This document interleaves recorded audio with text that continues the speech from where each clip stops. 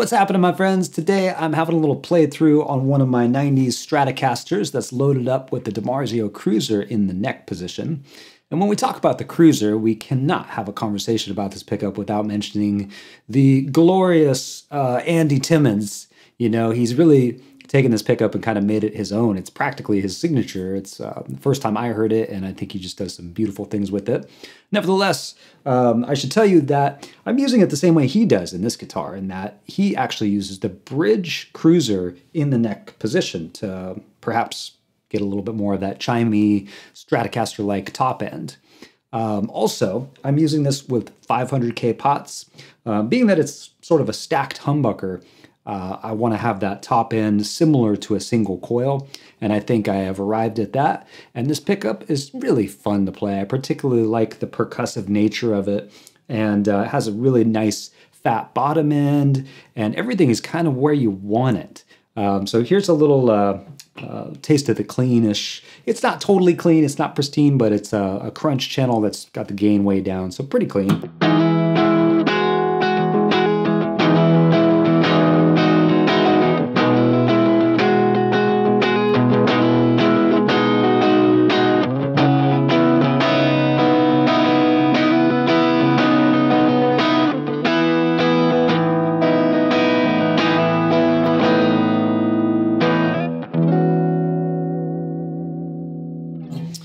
Really nice balanced sound. Does it sound like a Stratocaster to you? Does it sound like a traditional single coil?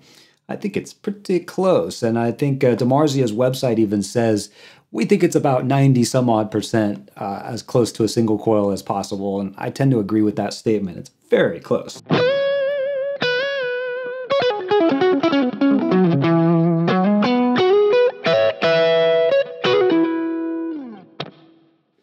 So check this out. Now I'm on the same amp model, which is a FAS Crunch, which is Fractal Audio's version of a kind of a plexi. And all I've done here is just turned up the input gain. So it's not any different with the EQ, but check out how much bigger it becomes.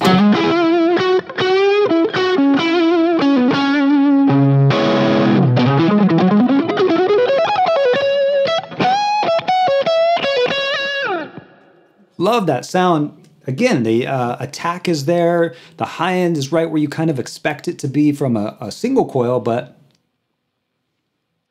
no buzz, no hum, no 60 cycle hum, which is awesome. Um, as I'm playing this, listen to how much clarity, even when I'm smashing some chords.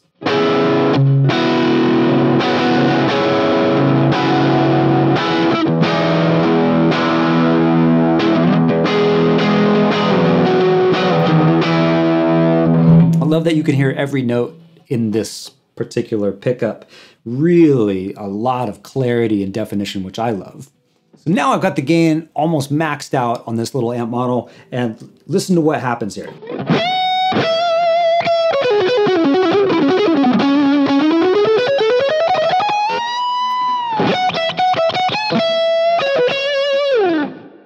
Still somehow maintains that clarity, still is cutting through. It's not getting harsh, really. Uh, I'm impressed. So, the one thing I was wondering when I got this pickup is how close is it going to sound to an actual single coil? How uh, actually noisy is it going to be uh, trading out for an actual single coil? I can say that it's a lot better than that normal 60 cycle hum you get, but if I were to show you uh, without my noise gate, you might be surprised at how noisy it is still. So listen to this. Here's with the noise gate wide open.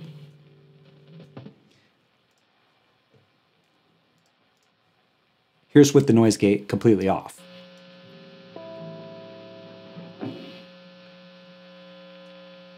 Kind of tilting a little bit away and towards my computer monitor. So you can hear that there's some interference there. It's not like when I switch to position one with the humbucker, you know, I still get a little bit of something there, but noticeably louder when I'm on this neck pickup. Check out how it sounds playing a little bit lower now.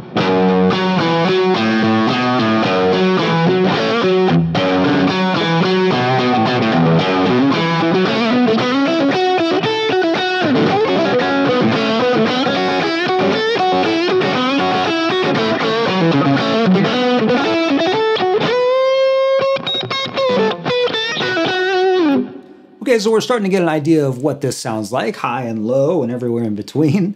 And the next step, I want to kind of get into some things that I don't love about the pickup. Uh, just, you know, my personal taste, but here it is for what it's worth. The pickup has almost a little bit of a, like kind of a plasticky sound at times. Um, depending on the range that you're in, that plasticky um, is part of the percussive nature, which is a good thing, but I've noticed that certain settings in certain positions that it can sound a little strange and to me kind of like sterile, generic, uh, a little bit, dare I say, wannabe single coil, but not convincing in, in some lines. But that's again just my nitpicky opinion. Where I hear it is kind of on the cleaner sounds up in this range right around the 12th fret. Since I just played that with the volume halfway down, I should mention this does not play very well uh, as you turn the volume down if you don't have a high pass filter or in other words a treble bleed on your input. Listen to how dark it gets even if i just turn down to about seven.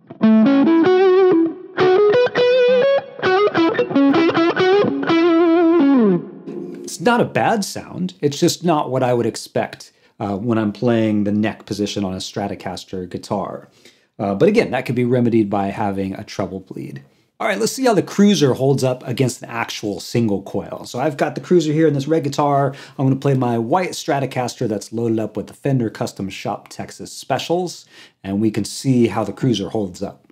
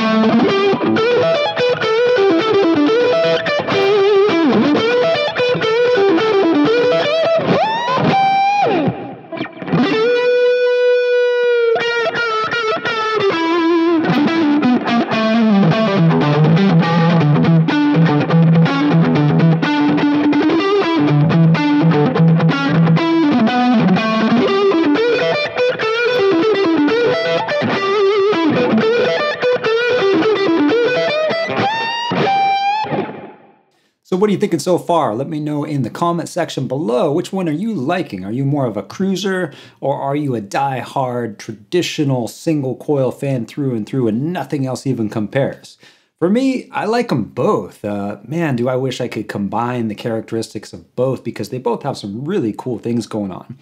I'm a huge fan of the Texas Special mid range. There's just a mid range magic, um, and perhaps it needs to be fielded and played to really be understood, but hopefully you can hear that coming across in the clips.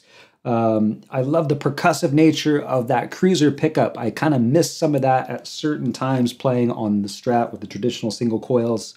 Um, the bottom end is real nice.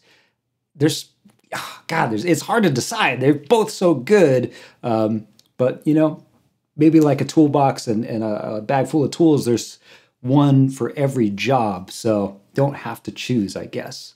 How about the noise factor? Did you notice a difference in the clips? Could you hear that this guitar was noticeably louder in terms of noise? Uh, how about the output of both guitars? Roughly the same. YouTube's probably going to compress it to the point where you can't tell too much of a difference, but I would say that these pickups are actually louder than the Cruiser, which is surprising given that the Cruiser is a stacked humbucker design. Um, here is me playing the Strat, or let me just turn the volume knob up and you can hear the amount of noise.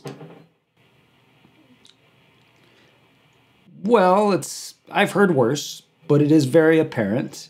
Um, so there's that. And if I was playing much louder, of course, this buzz would be getting much louder too. So it is a battle if you're doing the uh, traditional single coil thing. So what I'm probably going to end up doing is having a guitar that is noiseless and having a guitar that is true traditional single coils like this one. That way I can kind of pick and choose. Uh, if I ever play a gig in front of live people again because of freaking COVID. I would, ah. Anyway, I hope this is giving you a better idea of what you want in your guitar, the cruiser or the traditional single coils. Um, a little more playing, we'll see what you think.